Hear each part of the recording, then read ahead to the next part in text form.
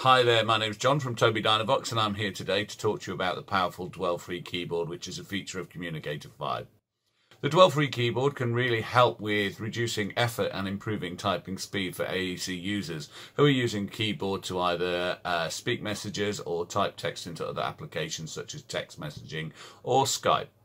It works by moving away from the traditional dwell method of selection, which can slow users down because uh, your speed is very much determined by your dwell selection time. So if you have a dwell selection time of one second, you can't write a word such as hello with five letters any quicker than five seconds, unless of course it appears on the prediction list.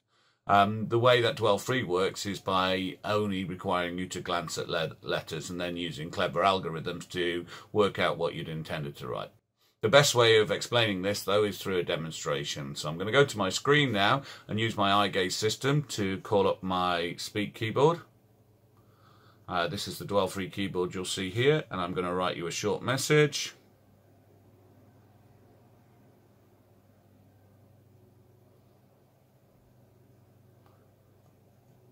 Hopefully it's written my hello, my name is John. Okay. You would have seen as I was using that, uh, certain letters were lighting up in, bl in blue as I go.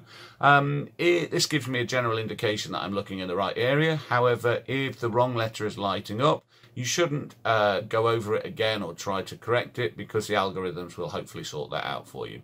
I'm going to uh, write a little bit more.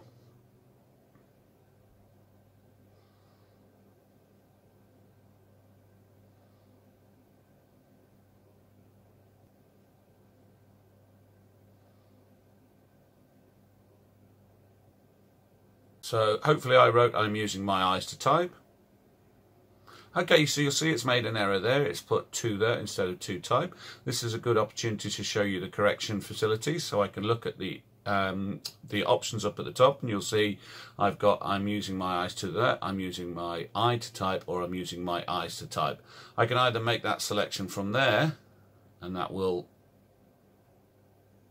correct it for me, as you can see, or I could have corrected the individual word by looking at the ABC and then choosing the word that was needed to be corrected, and then uh, basically typing with a, a dwell method. However, everything's correct now, so I can look at the tick at the top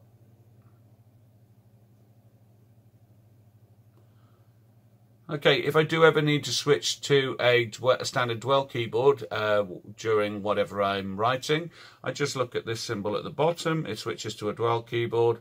I'm going to write the word hello.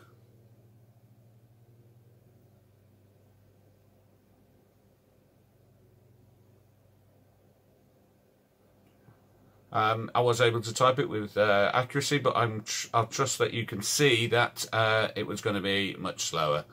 Okay. So that's the dwell free keyboard. Say it quicker with Communicator 5.